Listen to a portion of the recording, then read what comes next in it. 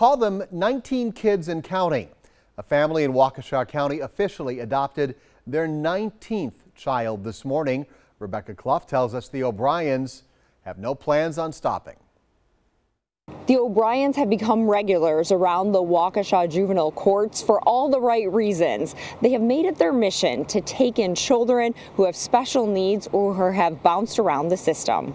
It's a very special day for the O'Brien family, Adoption Day, and mom Lori O'Brien can't help the tears of happiness. It's okay, mommy. Even though she has done this 16 other times, each adoption is nerve wracking and special.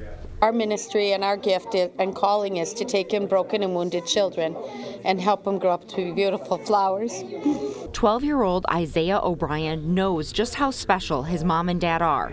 At eight years old, he had nowhere to go.